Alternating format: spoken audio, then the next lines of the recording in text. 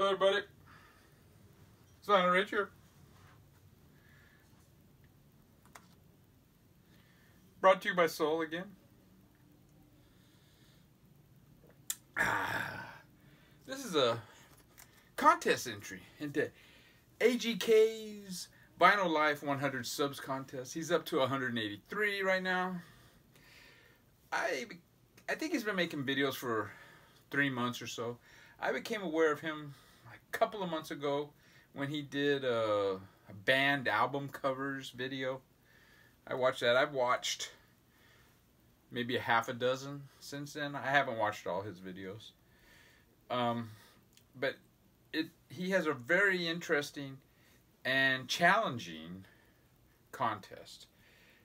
Not everybody will be able to enter this contest, but I'm going to challenge Mazzy to uh, do an entry to this.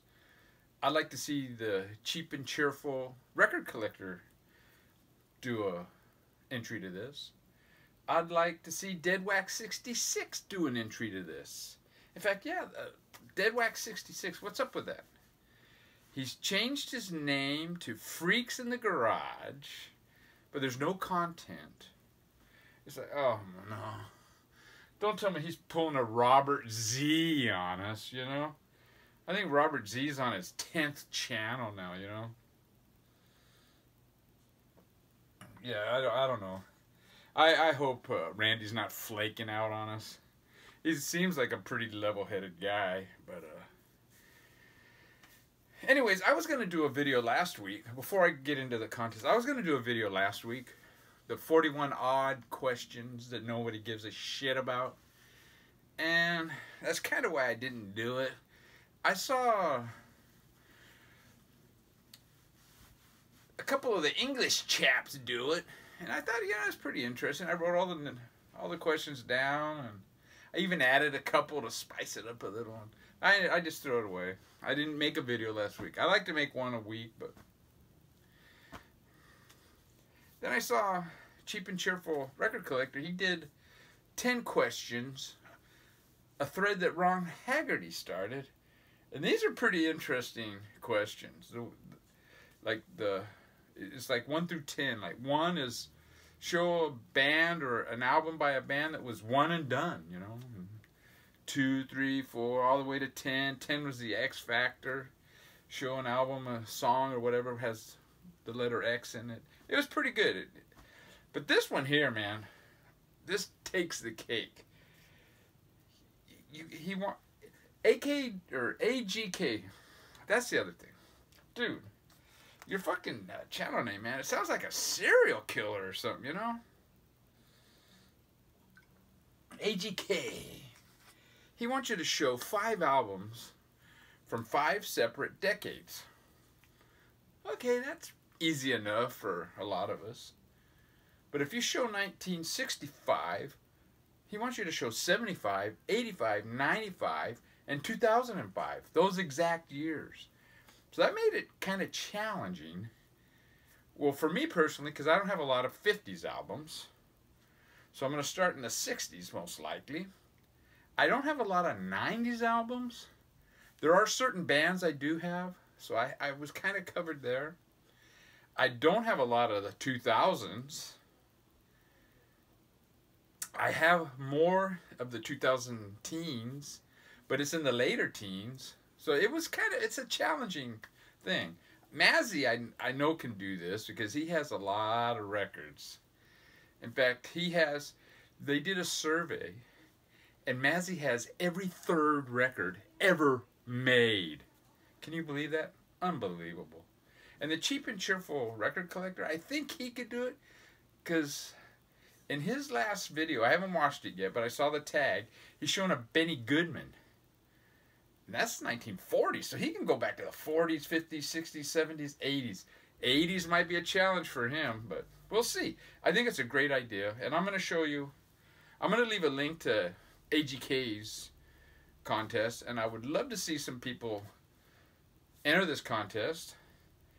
You have to have a pretty vast, I don't know, if you have to have, you do have to have kind of a lot of records to do this. But anyways, I'm starting with 1961, and it's an electrifying evening with the Dizzy Gillespie Quintet, recorded live in concert. Now this apparently was a pretty popular album in the day. I bought this probably 72ish when I was getting into jazz at a Goodwill. I remember I bought it on the Goodwill on 19th Street in Bakersfield. And uh, about a year and a half ago or so, I went through all my jazz records and I got rid of ooh, more than 50. I mean, I don't listen to jazz as much as I used to, but I the ones I mean, I kept my miles, I kept my weather report, I kept, you know, my one John Coltrane. But the ones I wasn't sure of, you know, I I'm to listen to it. And this one cut it. You know, it cut the mustard, dude. It's a very well played. They're cooking, just put it that way. And I highly recommend this, dude. It's uh, I'm not really familiar with any of these other guys except for Dizzy Gillespie. It's uh on Verve Records, and that's by 1961. Now, the 1971, I'm a little more familiar with. It's Sly and the Family Stone. In fact, I saw Sly and the Family Stone in concert when this was their most recent album out. And I must say it was it was it's probably in my top 10 best concerts of all time. It was it was amazing.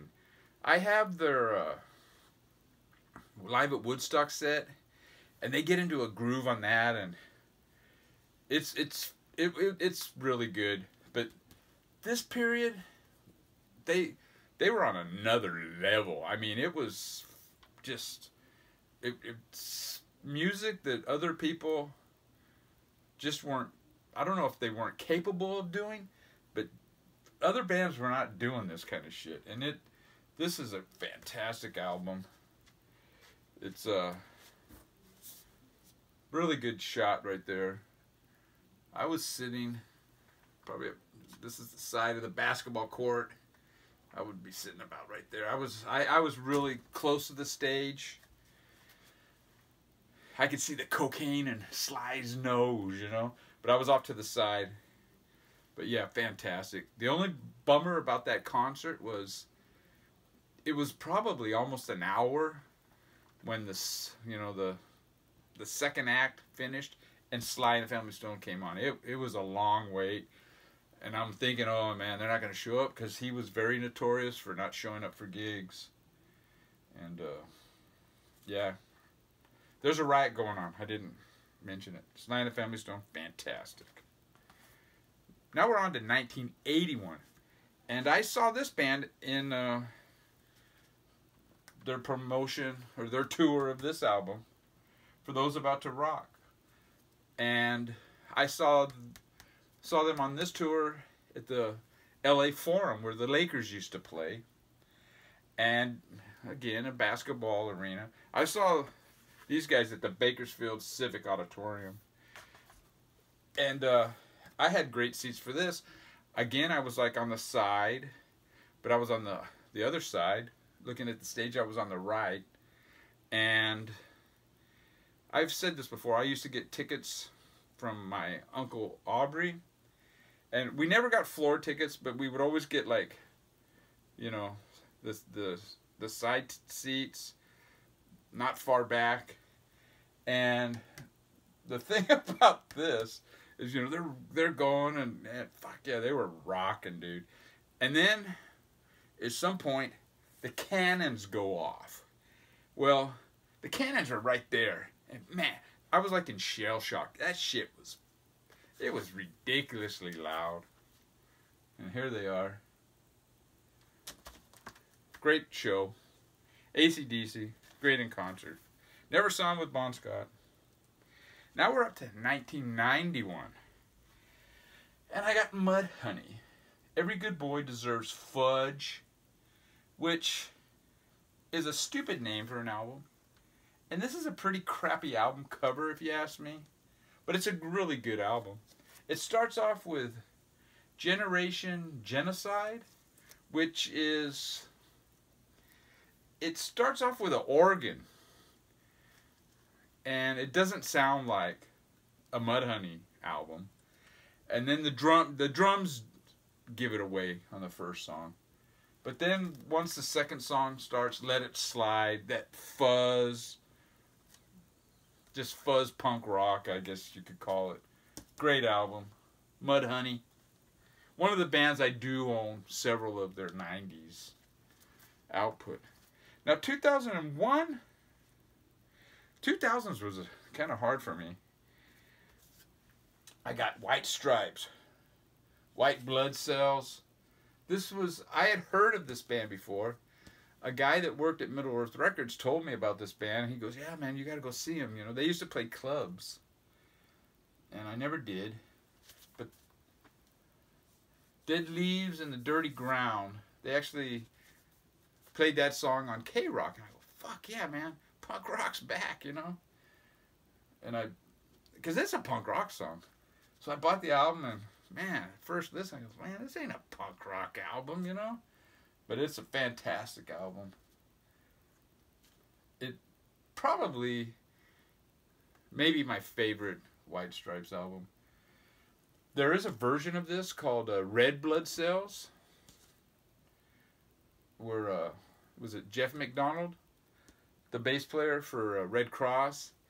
He adds bass to every track on this. And he, I guess he got the blessing of these guys to do it. And it pretty much sounds the same as this. The bass isn't real prominent, except for in a couple of songs.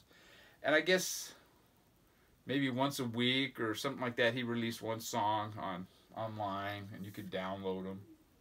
But I would love to see uh, Third Man Records uh, release that. You know, Red Blood Cells. That'd be cool. And we're back up to 2011. And we got Nod. In Nod We Trust. Now, see, this is a fantastic album cover. Look at that. This album is. It starts off with the bass. However, you know, and it's just very repetitious. This Nod tends to be a pretty repetitious band. Kind of like the can almost like a krautrock band, like that type of. But this one is more of a electronic. There is uh, starts off with the bass and then these electronic keyboards or whatever you call it. I don't know. I think they're doing some of it on their laptops, you know. Then you, the, there's this feedback guitars come in. There are drums. Side two, it's just one song on each side. Side two it's more of an industrial sounding. In fact, it's the beat, the drum beat, but it's an that industrial drum beat. That's the most prominent part of that. But yeah, it's a good album. It's not one of my favorites. The thing with Nod, you can buy one of their albums and oh wow man, I don't know about this, and it doesn't sound like there are other ones. You know, they they have they vary quite a bit. Put it that way. But that's my. I actually did six, I think. One, two, three, four, five. I did six. He only wants five. You got one more week to enter his contest, so you know, give a AGK a subscription. And Randy, if you're watching this, man, uh, I don't have your number, man. I I like to text you and reach out to you. You know give you a hug or whatever. I hope everything's good. Hope you're not flaking. Take care, bro.